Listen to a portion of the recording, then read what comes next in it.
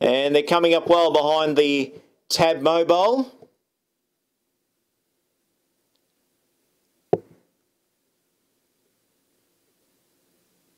As the Mobile is coming around the home bend for trial number four. Three-year-olds are ready. They're set. And there goes the green light. And they're off and racing.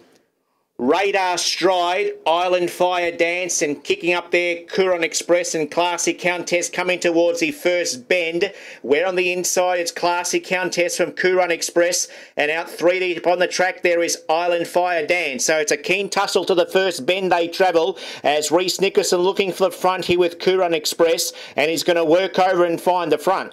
Classy Countess will take a trail into second position, five metres away. Six metres away, third placing to Radar stride. Restraining to be four back on the inside is Island Fire Dance. Tracked in term in fifth placing to What I Say Goes. Then followed by Island Blue Chip racing third last. Second last in the field to Orchard Stride. And at the tail of field is Written Courage. 25 metres coming from first to last. The lead time in 46.8 seconds. And it's Coorong Express for Reese Nicholson, the leader.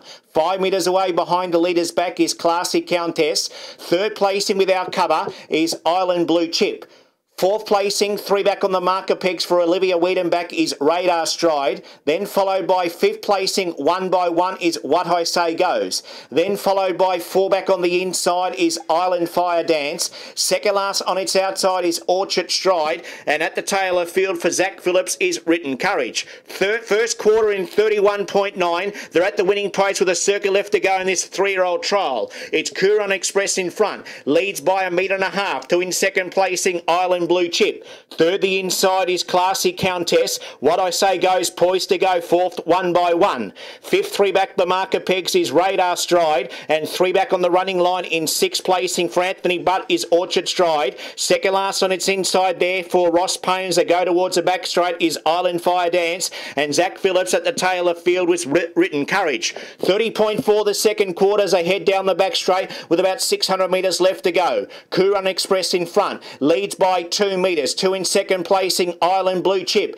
Classy Countess third, the inside, waiting for the Garrard sprint lane. What I say goes poised to go fourth, one by one for Josh Duggan. Then followed by fifth, three back. The marker pegs held up, Radar Stride. In behind him to Orchard Stride. Second last held up the marker pegs is Island Fire Dance and Written Courage at the tail of field 25 from first to last. Third quarter in 29.3 coming around the final bend. It's Coorong Express in front. Leads from Classy Countess and then followed by in third placing in the field to Radar Express. But it's Coorong Express off and running. First out and first home. Coorong Express is going to lead all the way. Coorong Express first. Second placing to Classy Countess. Radar Stride third. And flashing home, Orchard Stride made lay ground for fourth. Close up, Island Blue Chip. Then followed by next one o'clock in Written Courage. Second last one to pull up What I Say Goes. And at the tail of field was Island Fire Dance. Last quarter in 20 nine, and the Aldebaran Park mile rate for the three-year-olds,